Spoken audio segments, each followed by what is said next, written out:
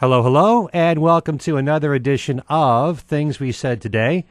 This is a weekly podcast that concerns what's going on in the world of the Beatles as far as Beatle news is concerned. I'm Ken Michaels, one of the co hosts of the show, and most people know me for a Beatles program that is syndicated right now uh, called Every Little Thing, and I'm being joined by my co host, Mr. Beatles Examiner himself, Steve Marinucci. Hi, everybody. Hi, Ken. On today's program, we're going to address something that Paul McCartney said, which is in a brand new documentary on Jeff Lynne that I had a chance to watch when it aired on VH1 Classic not long ago. And the documentary is called Mr. Blue Sky. And in this documentary, Paul actually says that he wants to go back in the studio with Jeff Lynne and work on another one of the songs that was submitted for the Beatles anthology project that the Beatles didn't get to finish, called Now and Then. And what I thought we'd do is just talk about that as far as whether or not we feel this is something that Paul should do. So, Steve, I'd like to know what your opinion is on this Well- particular issue. Let's hit a little history on this. This is not the first time this has come up. That's right. It came up in 2009. Um, it came. It's. It's. In fact, I think it's actually come up even more than once that Paul has mentioned this, and people have gotten all excited about about this. And it obviously came up during the making of the anthology, and for whatever reason, it was rejected. And there's a version the the demo of the of now and then that's floating around is not the greatest quality, and there obviously was some work that had to be done on it. Yeah, there's actually a loud buzz that you can hear Mhm. throughout it. It's just John on a piano with this buzz sound, which I don't know if with today's technology you can remove, but you can do wonders with our technology these days or cover it up somehow. Yeah, they probably could have done um, a lot to it, but they had the chance to do it during the anthology. They tried it. As I recall, the word was back then that the problem with the demo was so bad that they couldn't do it. And actually, if you, if you follow what Paul said in this documentary, George Harrison didn't like the song, Right, and, he called it he called yeah. it rubbish. Right. That was the other reason too that George didn't particularly like it. I can't see any reason. Uh, Paul does this. Um, he'll bring up things like this. He'll. He, I mean, at the carnival, the whole carnival light thing that everybody got excited about that he that they thought he was going to release, which I really didn't believe for a minute that he would actually be serious about releasing because it's such an off the wall track. Hmm. Um, he's not going to release this. If George didn't like it, um, Olivia's not going to go, not going to turn around and say, "Yeah, go ahead," um, because she's real firm on his, you know, on his thinking on what he on what he wanted to do.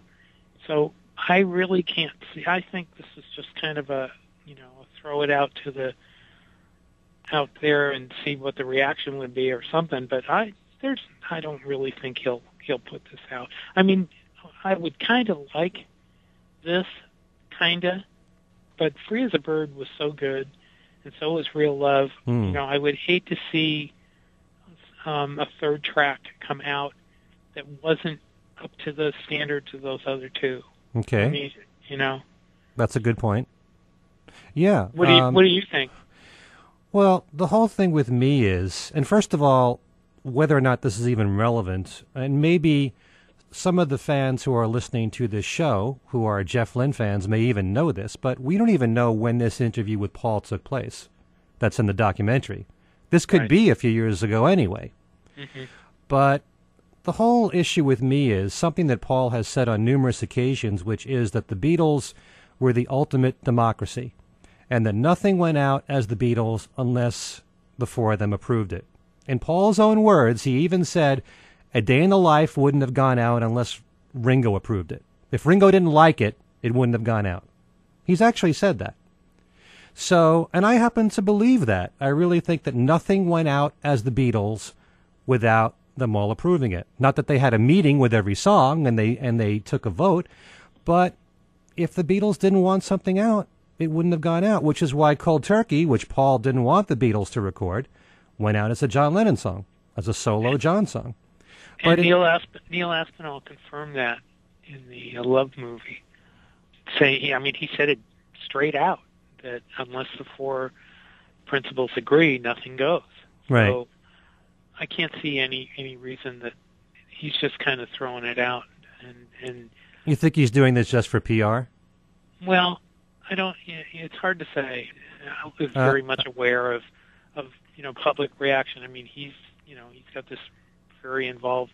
You know, he's got a full message board. I mean, his his website is is um, a lot more active really than the others, and um, so I don't know what why he bothered to bring this up now. Um, he knows that you know the fans are very. I, I hate. To, I don't mean to use the word volatile, but the, the thing that comes to mind is that anything like this, you know, gets quite a reaction, mm-hmm. and people tend to go off on things like this, as they did when he mentioned it. All of a sudden, there was this big blow up. Oh, we're going to hear him now and then again, and I really, I, I can't see it happening. Now, just to expand on this topic, you could go back to Free as a Bird and Real Love and even question whether or not John would have wanted that.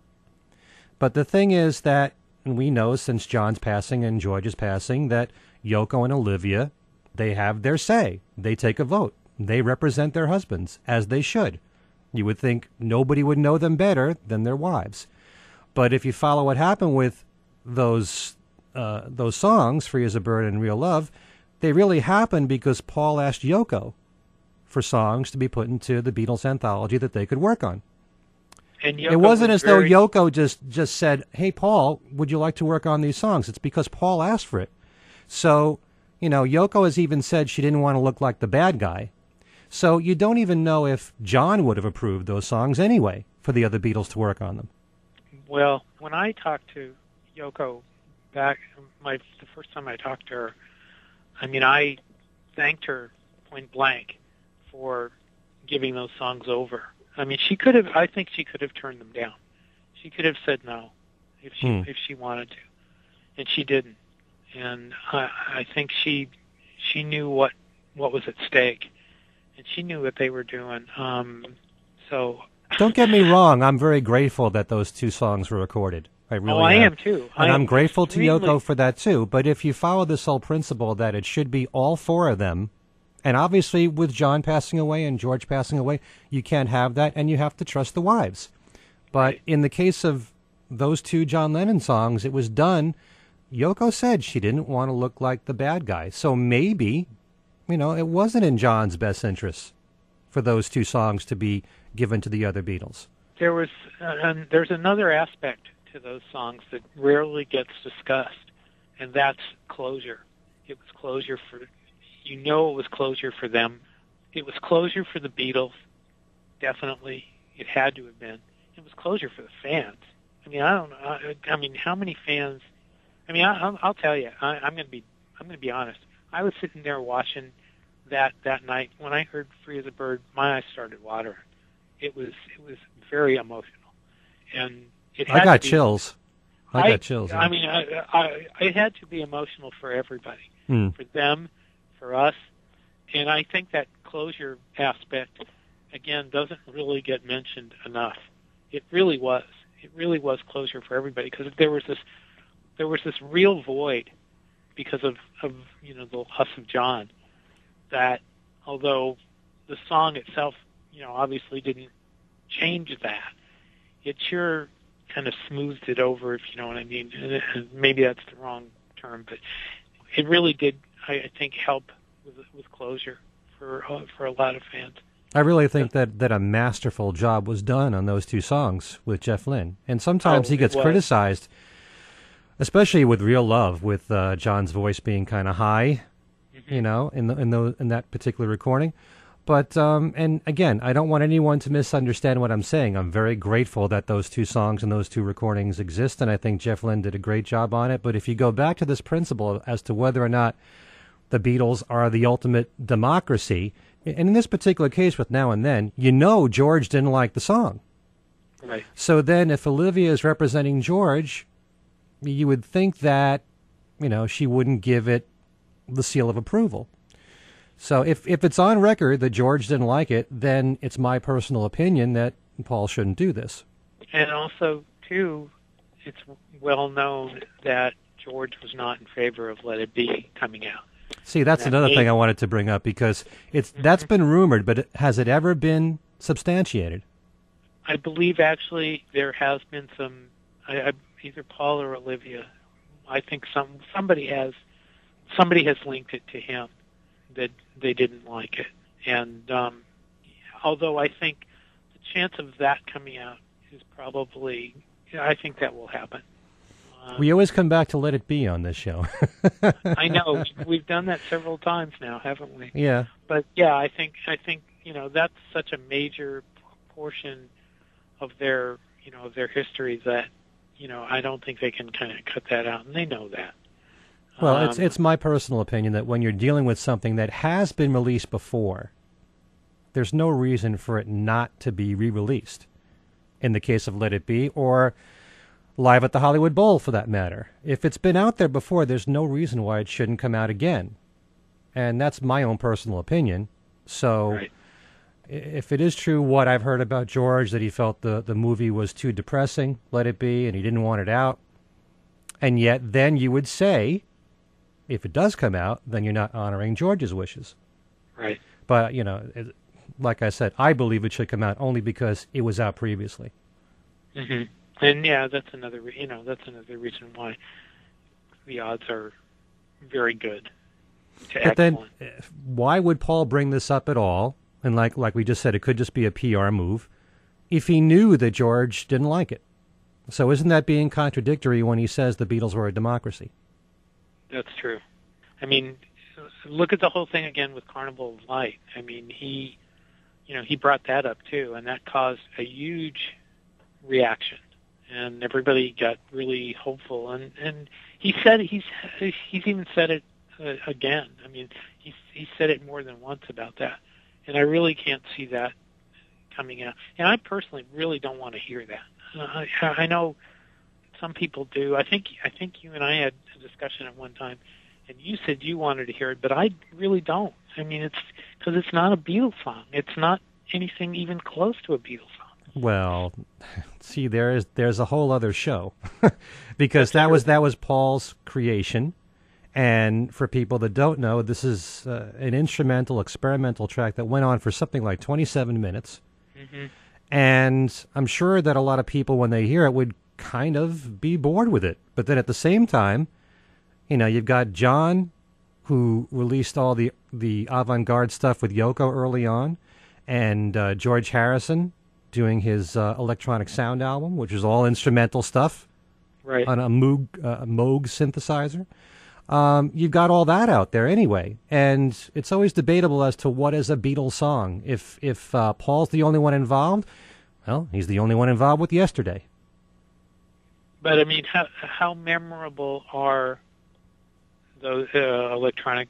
Uh, you know, those uh, the two avant-garde things you mentioned, the the Lennon and the Harrison. Well, to me, it's it's not memorable, but you No. never know. Some people out there may enjoy that. I actually had a request on my radio show to do an all experimental show and to play the early John and Yoko stuff, and to play stuff from Wonderwall music and electronic sound, and some hmm. of Paul's stuff, the Fireman, the, his ambient music as the Fireman, that kind of stuff. Some people get a you know a big kick out of that, and that's a side of the Beatles that a lot of people aren't even aware of. This very experimental side of them.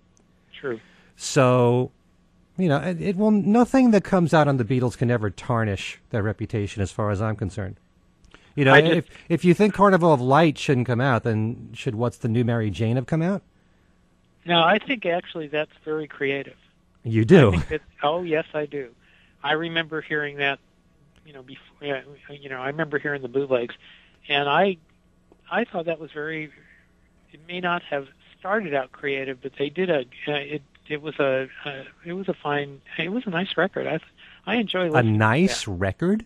Well, I mean, yeah, I mean it, the the lyrics. What a shame, Mary Jane had a pain at the party. I mean, that's that's funny. I mean, uh, that's typical Lennon, you know, humor, and and it's very, you know, it's very Lennon, and I I, I liked that. I enjoyed that. Okay, well, yeah, everyone has a different opinion. You know, I I listen to it as more of a, a novelty record, in a way. I, I couldn't really listen to that with repetition. You know, that's just my own personal taste. But Right. you know, that's that's the whole reason why we have conversations like this. Everybody has their own opinion. You know, my And- name is the same kind of, it's the same in the same vein. Hmm. I think that song is is much more uh, easy to digest. than Mary Jane. Yeah. Okay. I think they're I think they're pretty close. Hmm. Um, maybe uh, you know my name because it's got you know all of them on there, and you can hear Paul very clearly, and you know you can hear John very clearly, and um, that's not the case obviously with with uh, Mary Jane, but You know, my name is a fun record to me. true. And yeah, it could be considered novelty esque. I just found What's the New Mary Jane to be extremely repetitious. It's just Mhm. my own per- my own personal opinion. I'm not going to knock anyone that likes the song. That's just me. But you know, i- if you're going to argue that Carnival of Light shouldn't have come out, then you could probably make the argument that you know some people probably think What's the New Mary Jane is not worthy of release. and that's probably why it got it, they it, you know they stuck it on the anthology, you know, and um, It's a lot Or- shorter, so it's a lot easier to release something like that. right the bootleg versions are longer, Hmm. and um, so I mean, and there's more than one of those. I mean, and those those have been floating around for you know for a long time, so it wasn't like uh, they hadn't been out there before. So getting back to now and then, we're both in Mhm. agreement that it shouldn't be redone. And actually, do we even know this? Are there tracks of Paul, George, and Ringo working on that? So that if Paul was to rework this song, are there George tracks? Do we have any guitar work from George to represent George on this recording? There, I believe there have been fake record, you know, fake uh, versions. I don't think there's I've heard stuff on the internet, especially on YouTube, where Oh, yeah. uh, you know it's it's it's other musicians adding a backing track. Mhm. You know, so it sounds like this is what the Beatles would have sounded like had they have done it. But I don't know for sure if there are actually tracks from Paul. George, and Ringo, because if Paul was to go about doing this, it would kind of be wrong for George not to be on the record. Right, right. So the, the I mean that's another reason too. I mean you're you know who's going to do the guitar work on, on the thing, or would would they just use the versions that they've already played with? You know, nobody wants. I don't think there's anybody out there that wants to hear the song that would want not to have George on the song. Hmm. So And you know it's another issue, and maybe we'll tackle this in another show, but as a big fan of the radio series, The Lost Lennon Tapes, there's a lot of songs that John wrote or was working on during that, that five year hiatus that he didn't finish that I think were far better than Now and Then. And I kind of wish that Yoko had given some other songs to Paul, George, and Ringo at that time. yeah, It just so happens that she gave Free as a Bird and, and Real Love, and they worked out fine. But there's some other songs that I found were pretty interesting that had John lived and he had really continued working on, could have been something. So, and the interesting thing, especially with, with Free as a Bird, is that they added that extra section in there, the Whatever Happened To, which John was working on, but they kind of perfected it. But then if you if you start doing a whole bunch of songs, you're going to get the criticism that the Beatles were, you know, dredging up things that, or I should say, the Threedles were dredging up things that didn't need to be dredged up. I, I know I have one friend who may or may not be listening to the show that um, was very critical of Free as a Bird and, and Real Love. Hmm. He did not like the concept at all uh, of them uh, taking a you know a demo of John and and recording over it and making a finished recording out of that. Right. And I'm sure there are people that probably I don't think a lot of Beatle fans feel that way, but I think there are people out there who probably heard that heard those songs and, and thought that way. Hmm. And I think I would have a problem with doing a, a like a whole album of that. I'm I don't think that would have been a good thing to do. Even with George live, I don't think that would have been a good thing to do. Right. I'm just Now, there saying are- that that there are a lot of potentially really good songs there in the can, Right. and and a lot of that Yoko hasn't even released. Still, I mean, some of it turned up on the anthology box, the John anthology box, but Right. um, you know, there's still a lot of stuff out there that that people haven't heard unless they were a fan of the radio show or collect the bootlegs. So it wouldn't have bothered me. I think it's more special when you do one at a time instead of doing a whole album. But since George has passed away too, it's kind of a moot point. So you know, what are you going to do? Just have Paul and Ringo back up John songs, and you don't you don't have anything representing George. So we seem to be in agreement that Paul probably shouldn't do this. right. One of these days, we're going to really disagree on something on this show, and I don't know when that's going to happen, but I hope it's soon. Well, I think we, I think we came pretty close there because, yeah, I mean, it's just I think it's just a silly idea. It really is. And but in a way, I could see Paul thinking to himself, "It's a good, it's a good way to get John out there in the public eye, get one of his songs out there, get some airplay, keep his name out there, and keep the Beatles' name out there." So, you know, I can I can definitely see Paul thinking that way. Well, they, I mean, they've done that. The rock band thing kept their name out there. I actually wish that they had put out soundtracks for those. I know the bootleggers did it, but I wish they had done soundtracks for that game um, and released those mixes, or some of them anyway. Hmm. Because with, with the talking at the front and the back, I mean, all that stuff was in the game, and you know, the bootleggers did a job putting out CDs and putting out DVDs for that stuff. Right. And it's too bad they didn't do some of that, at least some of it. But oh well. What can I say? So anyway, uh, we should let everybody know that first of all, we have a brand new email address that people can write to us. And why don't you tell the folks what that is? It's things we said today radio show at gmail.com. And not only that, we have our own Facebook page for things we said today. Each of us has our own individual Facebook page, and yours Right. is. Mine is uh, under my name, Steve Marinucci. And uh, also, I have one under Ken Michaels. My profile picture is with me and my wife with Todd Rundgren and his wife, if you want to look that up. And if people are curious, they can always go to my website, which is kenmichaelsradio.com. And on there, you will find all kinds of interesting interviews, audio interviews with people connected to the Beatles, and lots of trivia and contests and prizes given away every single week. And uh, some of the prizes, by the way, are ones that we're discussing here on the show. You know, like the Magical Mystery Tour DVD, for example. So if you can, check that out, kenmichaelsradio.com. And by the way, um, we had a suggestion from one of our listeners to possibly have a theme song to open and close with. So what we'd like to do is encourage any of you who are musicians, if you'd like to, to submit an instrumental music bed that we can use. And it has to be an original song, not your cover of a Beatles song. And we will mention the name of the song and your name as a credit at the end. Steve? So there you go. There you go. uh, yeah, I mean it, that that'd be a lot of fun. Oh, And I don't know if we're gonna if we're gonna beyond that. I mean, we're not gonna do do prizes or anything like that, but that would be your prize. Your little bit of possible fame. what do you mean, possible fame? That's You would be instantly famous. instantly famous. Okay. That's right. Instant karma, baby. There you go. And uh, and and we do ask. At least I think you're in agreement with me, Steve, that it should be a music bed that's sort of Beatlesque. You know, it could be a particular period of the Beatles. It could be a psychedelic uh, kind of feel to it. It could be something solo, something with a George Harrison slide guitar sound, if you want. If you'd like to, please submit it to us, and uh, you could do so at our email address, which is what again, Steve? Things we said today radio show at gmail.com. And this is uh, Beatles Examiner Steve Marinucci saying thanks for listening, and we'll see you next time. Yes, and for things we said today, this is Ken Michaels, also thanking you for listening. And as Steve said, we'll see you next time.